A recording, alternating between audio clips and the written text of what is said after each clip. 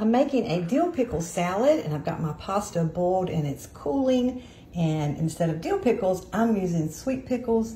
Shout out to Rhonda who makes those delicious homemade pickles.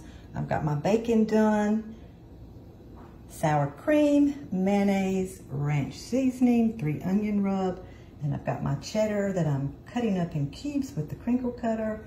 And then I'm gonna be serving it in our new two quart on the go serving bowl. Hey y'all, I'm making one of my favorite recipes, especially in the summertime today, um, dill pickle salad. But I use sweet pickles instead of dill pickles, and I'm making half of the recipe, and I'm gonna put it in our new two quart on the go serving bowl. I don't think I've showed this at all, maybe not much if I have. Um, and I'll tell you a little bit more about it later, but it's got a little vent hole there so you can let food, um, if it's hot, this keeps food hot or cold. It's got a double wall insulation. So think it, think of this as your Yeti, your, your beverage holder, but your Yeti for your food. It keeps food hot and cold. And one of my favorite features is this little hook right here. So when you're at a party or even at home, it holds the lid on the side. And another new feature is the lid has an insert that pops out and that's so you can sit it beside your bowl and it's a spoon rest. So a woman just had to invent this thing. I know she did because she thought of all the things that we need. Where am I gonna put my lid? Where am I gonna put my spoon? I don't wanna get this lady's table dirty. So this bowl covers it all and keeps food hot and cold. So the first thing I have done is went ahead and boiled my pasta and I used the micro cooker of course, to do it in the microwave, and then I just put it in here to let it drain really, really good because I don't want wet pasta in um, my salad.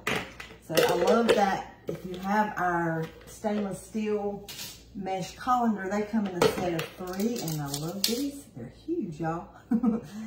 so, and I love that they fit down inside the micro cooker like that. So if we want something to drain right in there, we can. Like if you have chicken and you want to save that broth, this is the perfect way to do that. Okay, sorry, off the subject. All right, so I'm going to just kind of stir this pasta a little bit. Now this is only half of the recipe.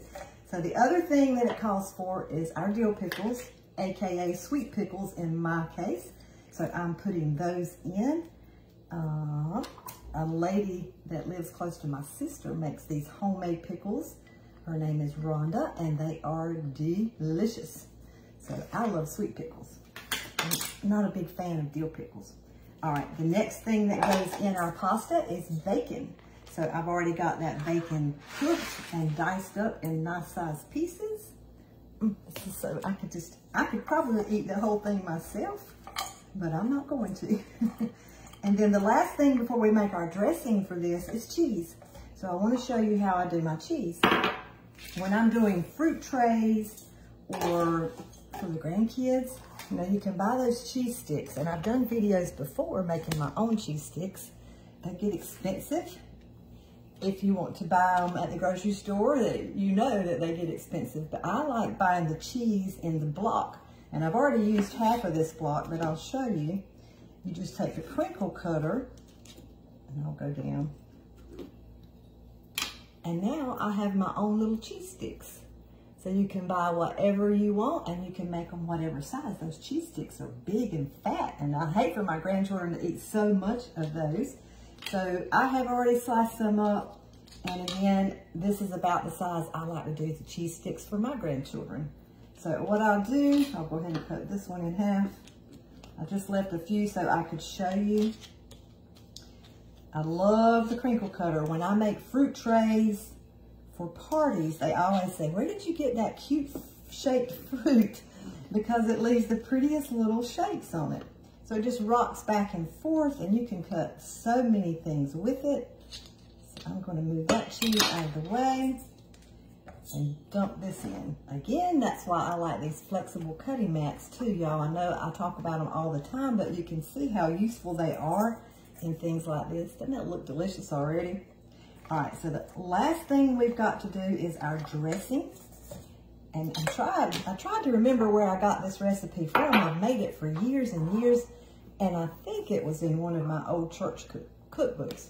So I've got just some Duke's mayonnaise and I squirted it in the measure all cup. So I knew I would have the right measurements and I'm just gonna pop that in and scrape it off. And that's the beauty of these. You do not waste any bit of that mayonnaise, y'all. This ends for our solid and dry, and this is for our liquid. So I also need some sour cream. So I've got mayonnaise, and now I'll do my sour cream. Pop that in. It's, these are perfect for yogurt, sour cream, mayonnaise, um, honey, things that are sticky and hard to get out of a measuring cup.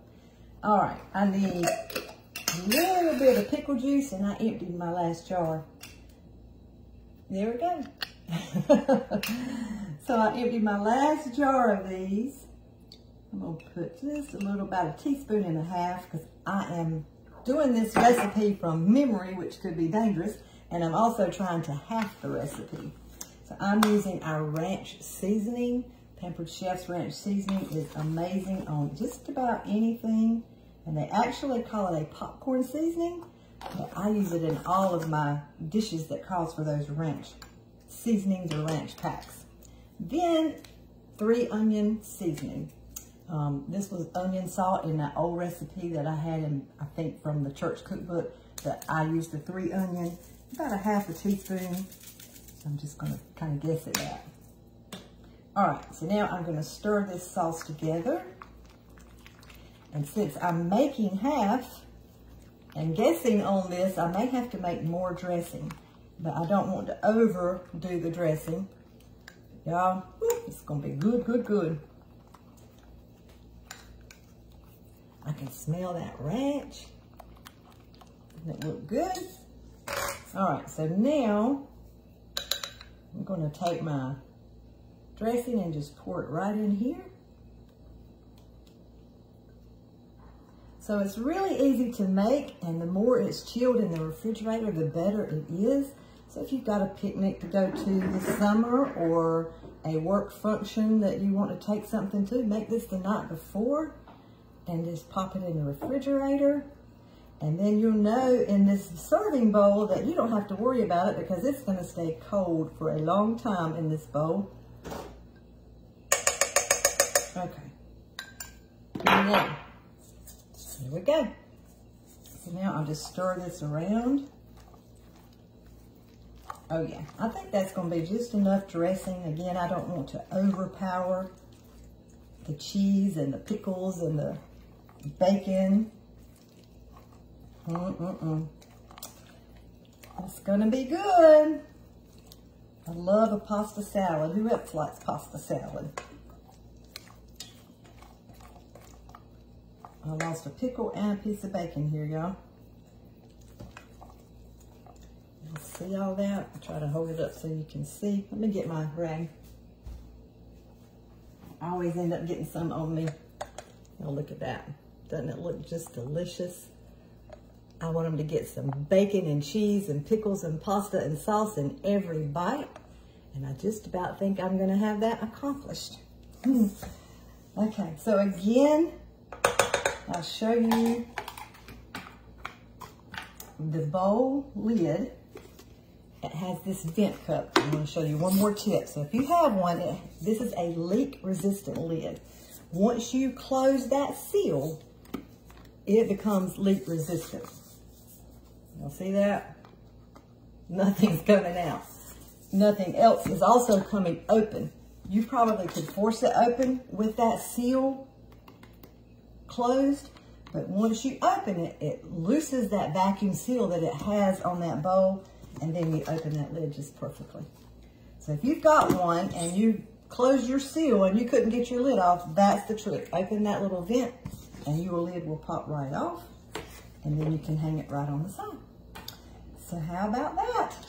I'm telling you, don't you agree that a lady just invented this dish? All right, let me show you the other one and then I'll leave you alone. This is the two quart. Y'all know I'm a visual person, so I like to show you everything.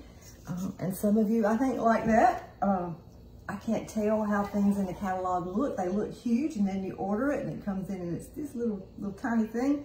But these are not, these are big. This is the two quart and this is the five quart. This is a big baby. I'm doing um, a test on the five quart today with some ice. I've done it before. I've got a, I'll put pictures after I get through with my process that takes late into the night that I started this morning and every hour I take pictures. So I'm going to open the vent hole so I can look and I have ice in here. And I started this morning and it's still just big ice, just like it was when I put it in. And it's been probably about four hours already. So I'm excited. I'm gonna, I'm gonna keep going until I see it melting. And uh, last time I did it, it didn't never melt, so I dumped it before I went to bed. But I'm like, I started earlier this morning, so I'm not gonna give up. I'm hoping to see this thing through, and I'll post pictures of all the time frames and let you guys know. All right, so thank you for watching. I am ready to uh, get into some of this delicious pasta salad and I will share the recipe in the comments. And my website is always above my video in the description. So if you want to check out these on-the-go serving bowls, you can find them on my website. And the crinkle cutter, y'all. That is a fun little tool to use. I do hot dogs. I do everything with it because the grandkids like that shape. When I make french fries, I cut them like that. They just love the shape of it. All right, guys, thanks for watching, and y'all have a great night. Bye-bye.